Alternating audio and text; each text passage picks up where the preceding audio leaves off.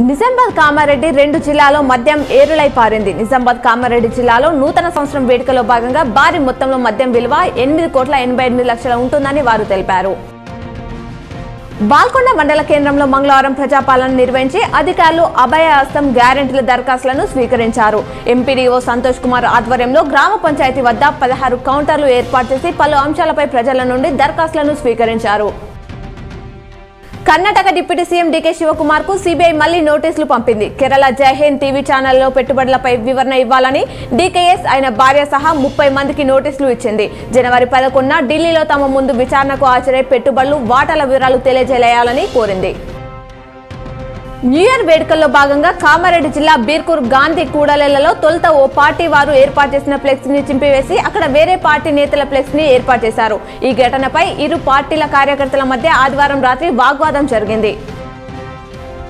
దర్పల్లి మండలం దుబాక గ్రామంలో Indian overseas బ్యాంకులో సోమవారం అర్ధరాత్రి దొంగలు బీభత్సం సృష్టించారు.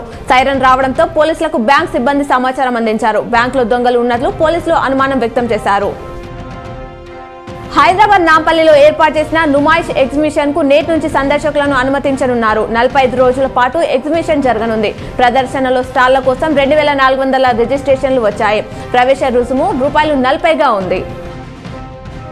నూతన సంవత్సర వేడుకలో భాగంగా నిజామాబాద్ కమిషనరేట్ పరిధిలో డెబ్బై ఆరు డ్రంక్ అండ్ డ్రైవ్ కేసులు నమోదయ్యాయని అదనపు డీసీపీ జయరాం తెలిపారు.